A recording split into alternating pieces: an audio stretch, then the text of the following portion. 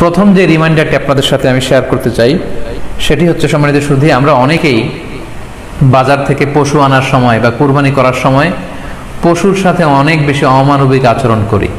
এতে করে কিন্তু আপনার কুরবানিটা পুরো কুরবানির প্রক্রিয়াটাই প্রশ্নবিদ্ধ হয়ে যেতে পারে।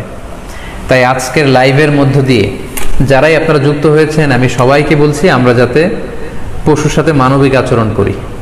কুরবানির পশুর সাথে এমন কোনো আচরণ যাতে না করি যাতে ওর কষ্ট না হয়। আমরা যেন এটা খেয়াল রাখি। বিশেষ করে জবাই করার আগে পশুকে ভালোভাবে রশি দিয়ে বেঁধে নেয়া এবং ছুরিটা, যেই ছুরি দিয়ে জবে করা হবে সেটা খুব ধারালো থাকা। আল্লাহ রাসুল্লাহ ইসলাম কিন্তু এই দিক নির্দেশনা আমাদেরকে দিয়েছেন সুবাহান আল্লাহ ইসলাম যে কতটা চেক অ্যান্ড ব্যালেন্স কতটা ভারসাম্যপূর্ণ জীবন বিধান আল্লাহ রাসুল্লাহ ইসলাম সহি মুসলিমের বর্ণনা তিনি বলছেন, ইদা দাবাহ তুম আহসিনুদ্দিবাহা তোমরা যখন জবাই করবে, সেখানেও তোমরা এহসান করো। কেননা আল্লাহ তালা সব জায়গায় এহসানকে অবধারিত করেছেন। আমরা জীবনে যাই করব না কেন, সেটা এহসানের সাথে করতে হবে। তো পশুটাকে কিন্তু আমি জবাই করব স্লটার করব। আল্লাহ রসুল্লাহ ইসলাম বললেন, যখন স্লটার করবে, জবাই করবে, তখনও সেটার প্রতি এহসান করে তোমরা জবাই করো। ওইদা জাবাহ তুম আহসিনুজিবাহা সেক্ষেত্রেও তোমরা সফট হার্টেড হও। সেটাকে এহসানের সাথে জবাই করো। কীভাবে এহসানের সাথে জবাই করবে? ওয়ালিউহিদ্দা আহাদুকুম শাফরাতাহু ওয়ালিউরিহ যাবিহাতাহু। তোমরা তোমাদের ছুরিটা খুব বেশি করে ধারালো করে নাও, যাতে করে খুব স্মুথলি স্লটারিংটা হয়ে যায়। খুব স্মুথলি কুরবানিটা তাড়াতাড়ি হয়ে যায়, যাতে প্রাণীটার কষ্ট না হয়। আমরা প্রায়ই আমাদের ব্যাখেয়ালে বা অবহেলাবশত কুরবানির পশু ট্রাক থেকে নামানো, হাট থেকে নিয়ে আসা, এমনভাবে আমরা কুরবানির পশুর সাথে ট্রিট করি এতে করে কিন্তু অনেক অমানবিক আচরণ আমাদের দ্বারা প্রকাশ পেয়ে যায়। সো আমরা যদি, যদিও এটাকে জবাই করব, আমরা যেন এহসানের সাথে জবাই করি। এই বিষয়টা যেন আমরা খেয়াল রাখি। এটা হচ্ছে প্রথম রিমাইন্ডার দ্বিতীয় রিমাইন্ডার হচ্ছে, আমাদের দেশে প্রায় এটা ঘটে। জবাই করার পরে অনেক কসাইরা তাড়াতাড়ি এই পশুটার দেহ থেকে প্রাণ বের হয়ে যাওয়ার জন্য ছোট ছুরি দিয়ে জবাই করা প্রাণীটার গলার মধ্যে খোঁচা মারতে থাকে। গলায় বারবার খোঁচা মারতে থাকে। এটা কিন্তু ঠিক না। স্পাইনাল কর্ডে যদি আপনি জবাই করার পরে বারবার খোঁচা মারেন, তাহলে কিন্তু প্রাণীটার অপমৃত্যু হতে পারে। অর্থাৎ এটা স্বাভাবিক কোনো মৃত্যু নয়। স্বাভাবিক মৃত্যু হচ্ছে জবাই করে দেয়া। এবং ইসলাম এটাকে আমাদের জন্য বৈধ করেছেন। আমরা জানি যে পাশ্চাত্যে গরুর মাথায় বুলেট মারা হয়, অথবা ইলেকট্রিক্যাল শক দিয়ে ওটাকে হত্যা করা হয়, অথবা ভারী কোনো লোহার হাতুড়ি দিয়ে গরুর মাথায় আঘাত করে সেটাকে মারা হয়। কিন্তু ইসলাম এগুলোকে নিষেধ করেছে। ইসলামের বিধান হচ্ছে স্লটারিং করা, আপনি জবাই করে দিবেন। সেক্ষেত্রে আমার মনে হয় দশ থেকে পনেরো মিনিট যদি আমরা একটু ওয়েট করি, গরুর দেহ থেকে সবগুলো রক্ত কিন্তু বের হয়ে যাবে, ফলে এটার গোস্তটা উপা দেওয়া হবে আমাদের জন্য। কিন্তু আমরা যদি তারা, তাড়াহুড়ো করে, বিশেষ করে অনেক কষাই ভাইরা রুহুটা যাতে তাড়াতাড়ি বের হয়ে যায়, প্রাণটা যাতে তাড়াতাড়ি বের হয়ে যায়, জবাইয়ের পরে আবার ছোট ছুরি দিয়ে স্পাইনাল কর্ডে খোঁচা মারতে থাকে, এটা কিন্তু ঠিক না। এতে করে যেটা হয় এটা স্বাভাবিক মৃত্যু হয় না, বরং অপমৃত্যু হয়ে থাকে। আমরা যখন কুরবানি করি, তখন প্রাণীটার শ্বাসনালী এবং কণ্ঠনালী কেটে যায়।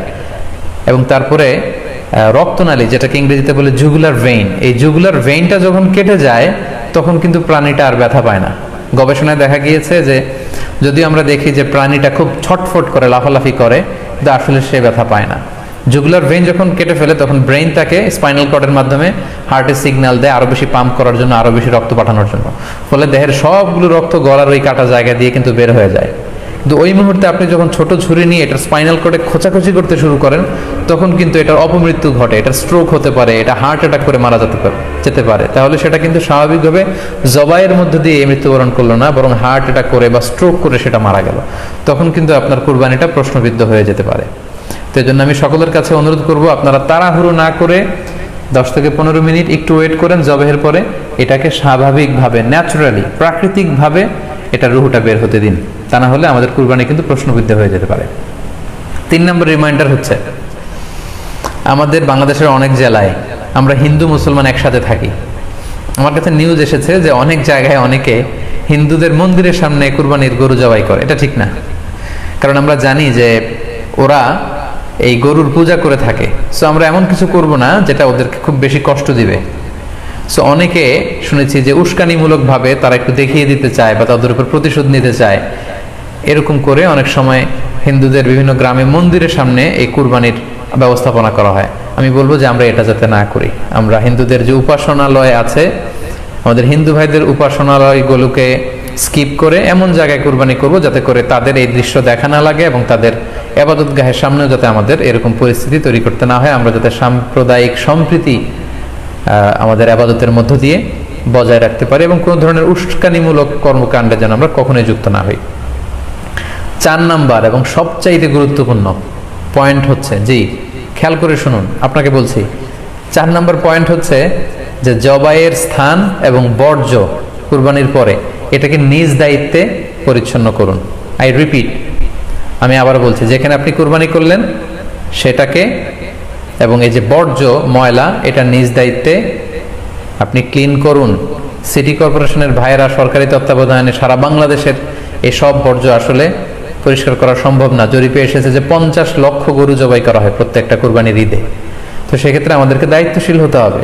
কুল্লুকুম র আইন ও কুল্লুকুম মাসউলুন রাইয়াতিহি। আল্লাহ রাসুল্লাহ ইসলাম বলেছেন, তোমরা প্রত্যেকে দায়িত্বশীল আর তোমাদের প্রত্যেকের দায়িত্বের ব্যাপারে কেমতের ময়দানে আল্লাহ তালা কিন্তু তোমাদেরকে জিজ্ঞেস করবে। তাই আমরা যেন নিজ দায়িত্বে এই কুরবানির করার স্থান এবং বর্জ্য যেন পরিষ্কার করি। ব্লিচিং পাউডার দিয়ে বেশি করে পানি মেরে আমরা যেন পরিষ্কার পরিচ্ছন্ন রাখি।